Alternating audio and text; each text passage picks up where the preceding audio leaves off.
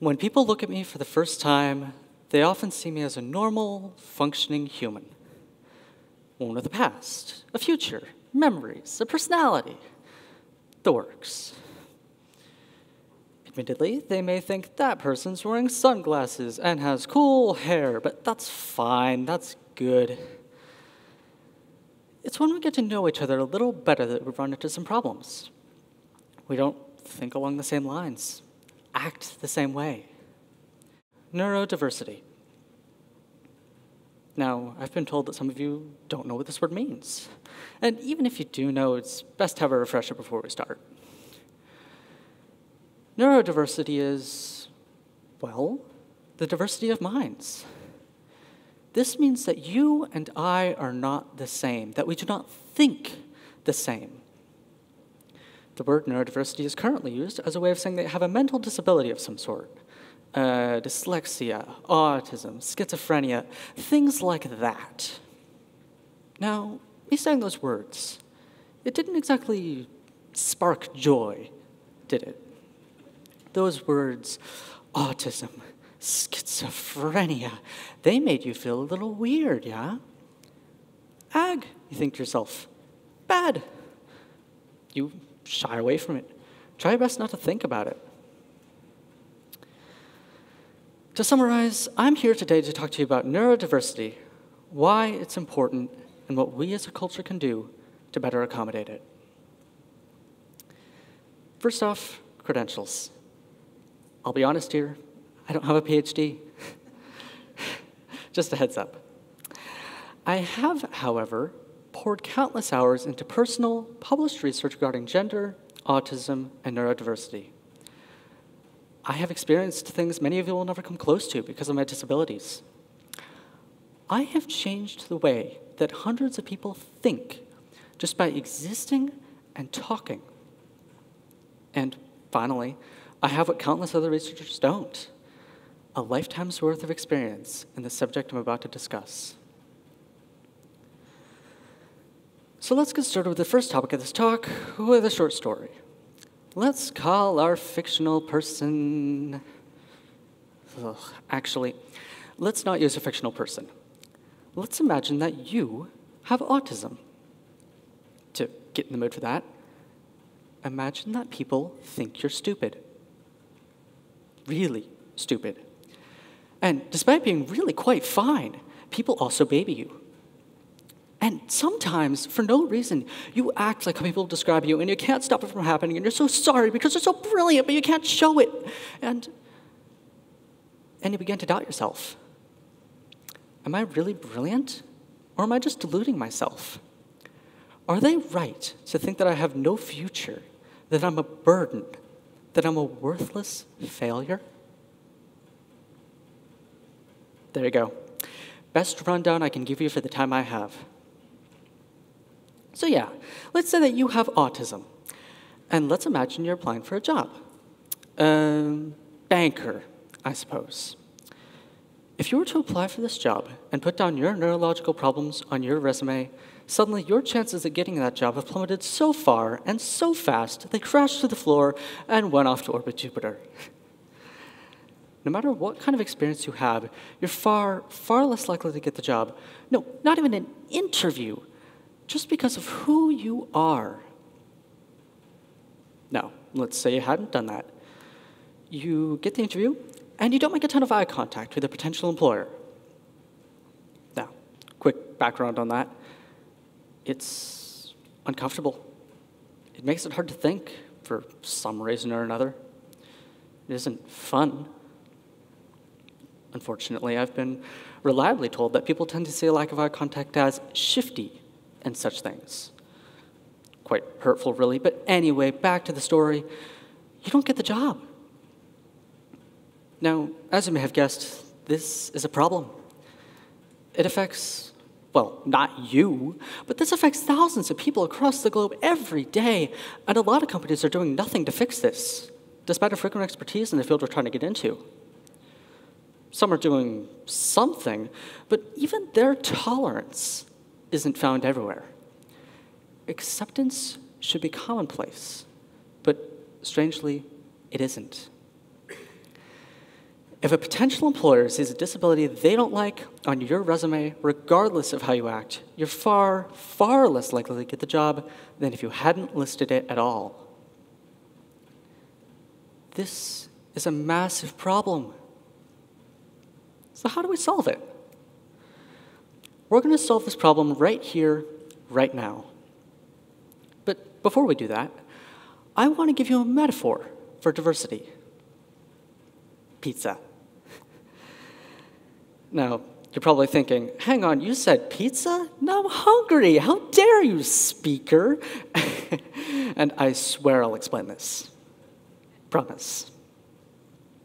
So, you can look elsewhere for my name, but the pizza thing will take some explaining. You see, there are many kinds of pizza in the world. You have pepperoni, sausage, cheese, I could go on. The problem is that when you introduce kinds of pizza that not everyone likes, people make assumptions based on your preferences. If I told you I liked pineapple pizza, would you call me a monster? The entirety of my life, all the goods and bads and all the things between, all shoved aside to make way for monster? Of course not. I'm standing up here talking to you about diversity and things. I, all of me, can't possibly be just one trait. And you'd be right in thinking that because I'm not a monster. I am not just one trait. But now, let's apply that metaphor to humans and neurodiversity. If you were to go on social media and say, hey, I have autism, what would be the response? I can't tell you for sure, but especially since it's online, a lot of negative emotions and assumptions would get thrown your way. There'd be, depending on followers, channel subscribers, whatnot, there'd be feedback. And people would then treat you differently. Not as in a good or a neutral differently, but a bad kind of differently. Best case scenario, followers don't say anything uncomfortable silence and all that. Worst case, you get hate from anonymous people encouraging you to commit suicide. Most likely scenario is that, however, your followers praise you for your writing abilities or how good you look. Sorry, no, not writing abilities as in, wow, that sentence was so good. No, I mean writing abilities as in, wow, you can write? this may not seem all that bad at first, but once you take a closer look at it, or if you're on the receiving end of it, it feels gut wrenchingly awful. If someone came up to you and said, Hey, nice job getting dressed this morning, or Hey, I didn't know you could read, that'd make you feel a little weird, yeah? Like they didn't expect you to be able to do that? That's the kind of feeling roughly one in 10 people in this room experience every day of their lives. My apologies for the negativity, but it's something that needs to be fixed, or at the very least, acknowledged. Remember earlier when I said, we're going to solve this problem right here, right now? Well, my final point is this it's time for us as a culture to change our perceptions of people and to alter our patterns of behavior to ultimately make a better world for us all. This will be the most difficult part of my talk because not only are we dealing with millions, billions of people, but we're talking about changing all those people's mindsets. And not everyone wants that.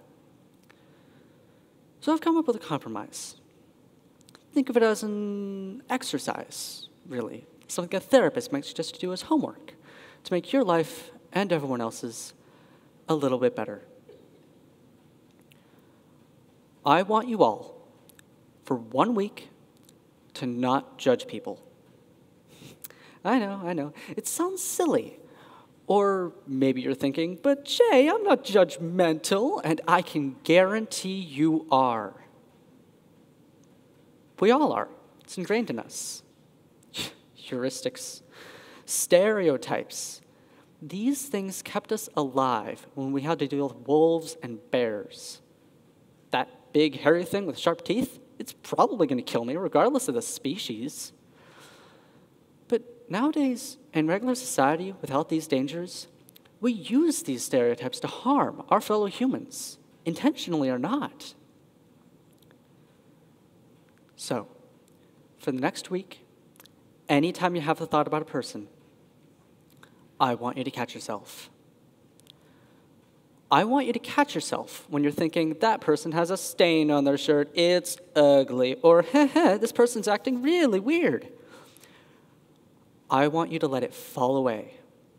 Let it sit, then go. I want it to slip your mind, and I want you to pay no heed. This is going to be hard. Really hard, especially when, especially when you can come up with all sorts of convenient excuses for yourself for why you should judge them.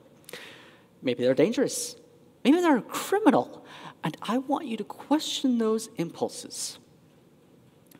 I want you, yes, you and you and you and yes, even you, way in the back over there.